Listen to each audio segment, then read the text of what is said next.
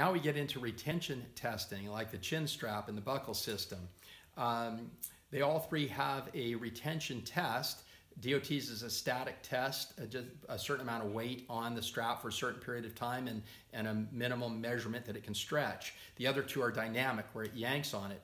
Uh, Snell and ECE both have a roll-off test to make sure that the helmet will not inadvertently roll off your head. Uh, ECE pushes it a little bit further. They check the abrasion resistance of the retention system. They also uh, check for inadvertent release of the buckle.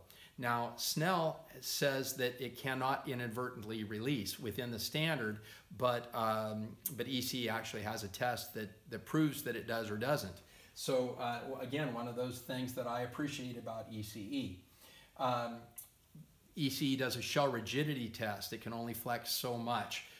Now, Snell insists on a pretty rigid shell, but they don't have a specific test on that.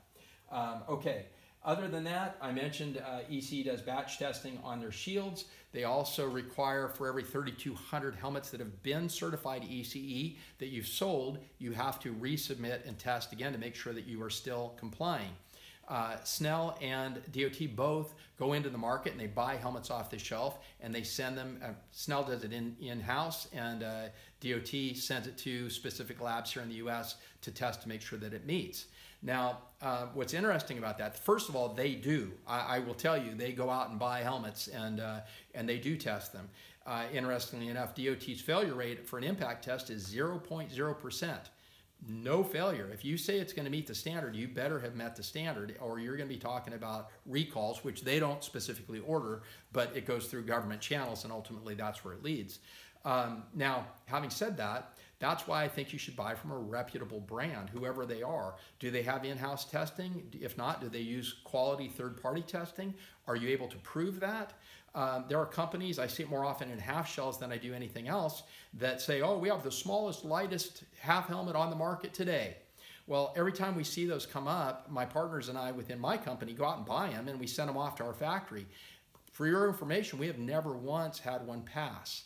Uh, unfortunately, because they're not reputable, when they get caught, uh, often they bring them in through Canada. They're all labeled, they look legit, but if they get caught and they prove that they aren't passing, they just shut the company down and start a new shell company, no pun intended, and put a different brand on it and keep selling them. Uh, that's not what I would want on my head. And, and part of the reason that I'm doing this exhaustive discussion of these standards is I don't want it on your head. If you're going to put on a safety product, it should meet a, a, specific standard and you should be able to rely on that. So we've covered a lot of ground here. I appreciate the patience. I hope it's been valuable and uh, stay safe out there.